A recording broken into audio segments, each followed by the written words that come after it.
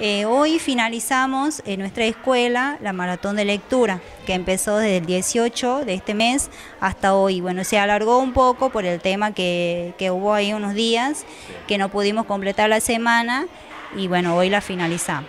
Bueno, eh, con una actividad bastante particular que tiene que ver con la puesta en escena de un cuento que vienen trabajando ustedes. Sí, un cuento tradicional que se llama La ratita presumida.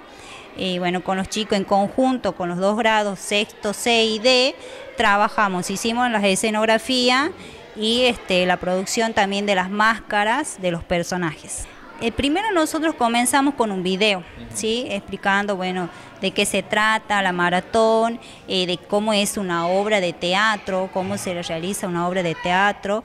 Y luego también, este, ayer por ejemplo, salimos afuera al patio eh, a leer cuentos. Nosotros tenemos una biblioteca acá en la escuela, una biblioteca móvil, eh, donde este, tenemos eh, diferentes tipos de, libros, diferentes autores, donde los niños eligieron cada uno su libro y pasaron a explicar lo que ellos entendían.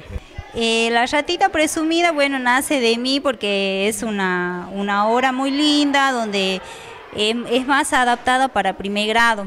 nosotros yo ya la, ya la trabajé en mi taller de, de teatro. Yo ya trabajé, y, pero otra vez lo hicimos diferente, hicimos con títeres, esta vez ya lo personificamos. Les encantó, incluso a los niños de primer grado siempre me preguntan, señor, ¿cuándo van a volver? Porque les reencantó. Lo, bueno, en esa vez hicimos los títeres. Este, y bueno, los niños están reencantados, igual que lo que hicieron los personajes, también se entusiasmaron. Y bueno, la escenografía, todo, todo este, es de ellos. Señor, ¿fue a elección el que quería participar lo hacía o digo, cada uno tenía en este caso ya eh, un rol, si se quiere, a la hora de montar un personaje? Eh, yo los elegí de, acuerdo a sus características.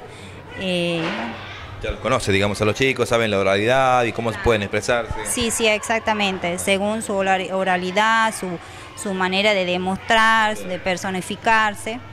Profe, eh, profe, ¿y hoy cuántos eh, chicos estaban en escena? ¿Cuánto compone en total lo que fuese el cuento? Eh, la, escena está compuesta por seis personajes, que bueno, la principal, que es la ratita presumida, luego está el gallo, el ratón, el cerdo, el, perro, este, son seis personajes. Debido al tema de que hay que pasarse los micrófonos, es como que ahí hay un tiempo, entonces yo decidí grabarlos a los niños.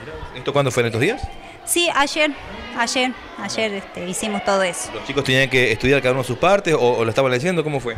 Estudiaron cada uno sus partes. Porque de hecho se nota que estaban eh, muy naturales las voces, me parece que estaban estudiando. Sí, sí, sí, es una idea que, que se me ocurrió para no perder el tiempo también y para que salga bien este, y grabamos la voz.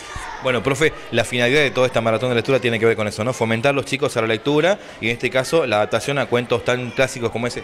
Exactamente, hay que fomentar la lectura y sobre todo también que ellos se animen a actuar, porque algunas, algunas veces les cuesta por el tema de que tienen vergüenza, entonces este es una herramienta que, nosotros brindamos a, a los alumnos. Y los chicos se los ve que el resto de lo que estaba participando viendo tomó la atención necesaria. Sí, exactamente, es que todos los, los dos grados, los dos sextos trabajaron, entonces están muy entusiasmados.